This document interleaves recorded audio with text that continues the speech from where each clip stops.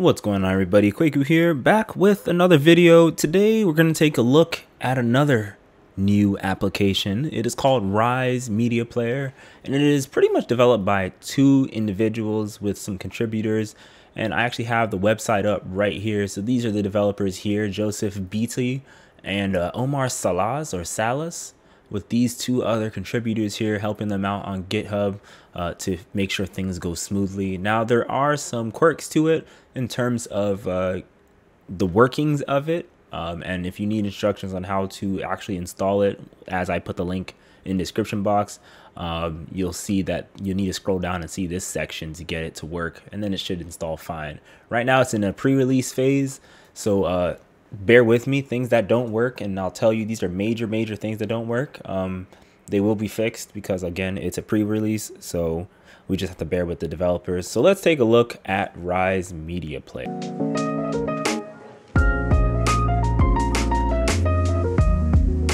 All right, so here we are looking at Rise Media Player. As I said before, it is a Windows 11 media player uh, built by those two developers right there and some contributors over at GitHub. It's not on the Microsoft Store at all. It's still in an early, early pre-alpha, so a lot of things are broken. Um, so I can't do a review on it just because it's a pre-release. It's a pre-alpha. It's not even an alpha. It's not even a beta. So this is just what we got so far with it. And so far, I can say it looks pretty good. Um, they do have some good customization built into it um, when I was just taking a quick look through it. Um, and also you got your usual bar here where you got all your little functions that you can do. You got at a glance, which shows you pr pretty much just everything at a glance uh, that you can do with it. Uh, you got your queue, uh, which you can see it. It made it full screen for some reason. I'm not exactly sure why it made it full screen. Um, and then if I exit out of that, you go to your playlists and you can see I don't have any playlists created just yet, but I can plus add any playlist, um, type in some words, uh, description if I wanted to, uh, hit create, and then let's see if the playlist actually shows up. I'm not seeing any playlist here, so maybe the playlist function doesn't work, but you can type in things and it doesn't actually do anything. Let me see oh, you know what? I'm stupid. So what you have to do is you have to create a playlist and then hit add media. And then from there, it should let you in. And it looks like adding media doesn't even work just yet either. So again, it's a pre-alpha, uh, so we can't really judge it too much. But the function is there. The thought processes is what we can judge of what's to go forward or what's to come. Uh, next section you have, you have your music section. So if we hit songs, these are all of my songs. Now there's a major, major um, like problem with this whole thing and you can probably tell by the the times of all the tracks being zero for some reason. Uh, there's a major major issue and it actually stems from the album section. So you see i have various albums. I have podcasts even the vergecast mac break weekly. Then i have some music that i have here Musiq Soulchild nas t-pain and stuff gym class heroes. And what i noticed at first glance and i thought it was just a simple thing um, was if I'm to type in, I don't know, Nas Life It's Good and I'm to click on it, right? These are the, I know the album really well because I've listened to it a thousand times. And these are in fact the tracks for that album right there. They're out of order, but these are the tracks for it. In fact, let me see if I can hit by track number order. So it looks like that functionality also doesn't work either. Yeah, it doesn't work either no matter what you press. But not only does that not work, um, the functionality of seeing what tracks are under your album also doesn't work. So if I hit this and I'm like, okay, I want to do life is good.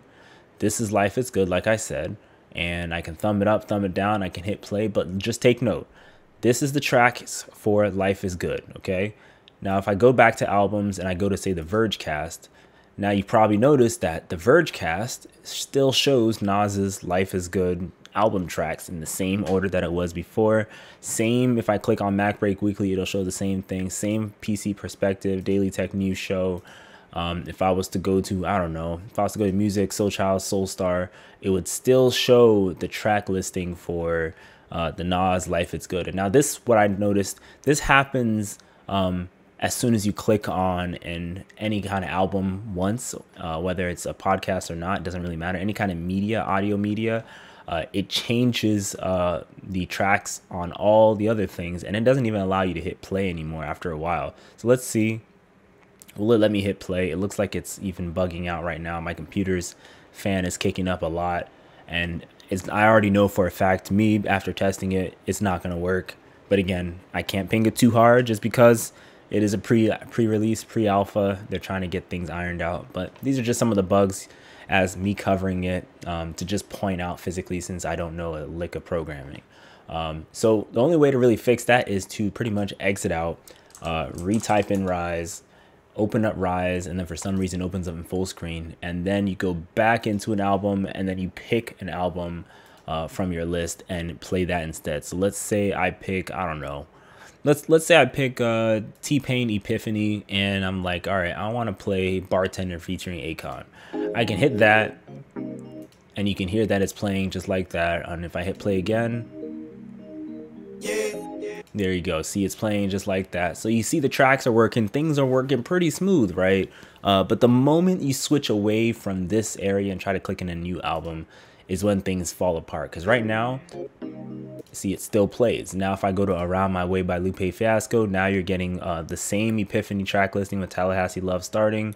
Um, and let's see if this plays. It still plays, but the moment I start clicking on it on a different album because it's bugged out, uh, you'll notice that it freezes. You see I can't, my hovering doesn't do anything. The computer is actually acting up. It's starting to speed up the fans.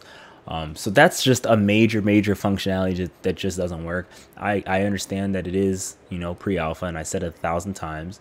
I understand that, but you know, this type of thing is what I would actually really want to work. The basic part of switching albums.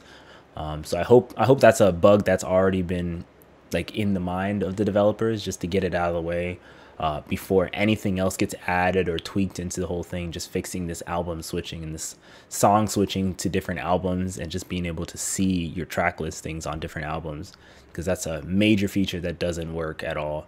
Um, but other than that, you do have your um, with this one here, you do have your add to and you can add to playlists and things like that. But of course, this is grayed out because uh, there is no playlist that I can make right now because playlist doesn't work either.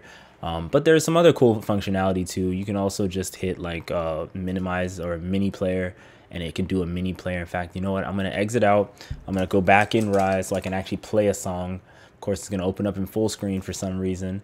And then I'm going to go in and say, you know what? I am going to pick an album. I'm going to pick Mario, an old artist. And I'm going to pick uh, what your name is. All right, now I'm gonna go to the mini player so I can show you how uh, album art looks on here. So there's another little bug that I found in Rise Media Player, and it is, has to do with this mini player here. Right now it looks pretty good. It's nice and fluent, nice and blurred. Uh, you can click this to see your queue and everything like that. Um, but resizing it starts to look weird. You see it still looks fine right now. And if I keep resizing it, it's shrinking. It's But you can start seeing that this area here to open up the mini player, make it full screen again, is starting to cut off this area here, the share is starting to cut off. Um, and if I shrink it more, you see things are just getting cut off more and more. And if I keep shrinking, you see this more things are cut off. I think that's the uh, shuffle icon that's getting shut off, uh, cut off. And then if I open it up, you can see it's starting to open up more and more. And then I can open it up there and down to make it a square. And now it's back to normal and it works like normal. But things get cut off in general uh, in the mini player. So that's another thing to just fix the sizing of it. Um, now let's take a look at full screen.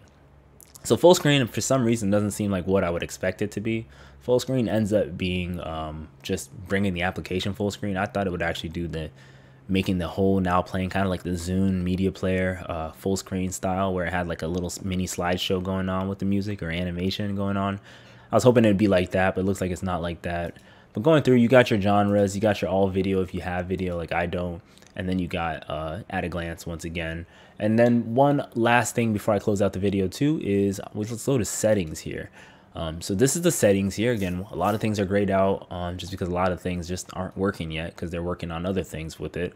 Um, you got your library section. You can add some online services such as a streaming service in the future uh, Last.fm. Currently, we only have availability to do your local media on your saved on your hard drive. Um, playback, you can choose equalizers and crossfades and things like that. So that's pretty cool. A little bit more advanced than the media player app in Windows 11 that just came out. And then you got some personalized settings that do work. Um, on startup, you can do at a glance, queue, uh, all videos. I'll just say I'm going to pick albums. Uh, pick up where you left off. Um, basically when you close it out and open it back up, it'll come back to exactly where you are. You can customize the sidebar. um, to pick different things. So that at a glance, you can turn off general, which you notice that in this corner, this disappeared. So if you open and close, you see that disappeared. If I hit the drop down, I can pick exactly what I want to appear and disappear. Same for music. I can pick exactly what I want to show up. If I don't want genres there, I can get rid of genres. Same for video. You can pick exactly what you want it to show. So that's pretty dope. Um, and then you can also search across the whole application too, just to see like what exactly you're looking for. Uh, final things, you got more settings here. This changes the setting style. You can change it to high contrast icons and different kind of icons, menu bar. Um, then you got an insider hub because this is a pre-release. There's a lot of insider builds that are coming out like pretty much on the weekly or in the daily that we just won't see unless you're an insider for it. But yeah, overall, I gotta say lots of potential in Rise Media Player. I won't say it's the best media player so far in 2022. Uh, as you know, on Twitter, I posted that I'm looking for the best media player replacement for you know the ordinary media player that's in Windows right now. And um, I feel like if if development really goes gets underway and really fixes these bugs, right now we have surface level things working. We got music playing that when you stay on one album it plays, but we don't have like mixing the albums to different albums and making those play. Um, there's sizing issues. There's a bunch of grayed out stuff. I'd like to see more development go on with this just to see where it goes. Because right now it's very smooth, very clean, very simple. And once all those things come out, it could be the, I could see it being like the Windows 11 ideal fluent uh, media player, that next generation media player, kind of letting Windows Media Player literally rise from the ashes if you get it. So I could see that happening and I just want to see more development on it. Uh, I know it said a lot of negative stuff in there, but I got to be blunt and just say what I see. It's all about what it is for me, just saying what I see in the application that maybe someone else didn't see. Maybe they already know about all this stuff, but now they really will know all about all this stuff. So stay tuned for more apps like this. You know I always have new things to pull out of the of the hat. Um, my name is Kweku, and before I go, uh, like I said, there is a Discord that you can join. It is um, the link is in the description box. You can click that one link, sign up for Discord if you don't have it already. Join the NXT Windows Discord that was made by Firecube and Yer A and some other people. So join us on there. We're about a group of about 15 to 20 people so far, but constantly growing. So stay tuned for more, and I'll catch you guys in the next one.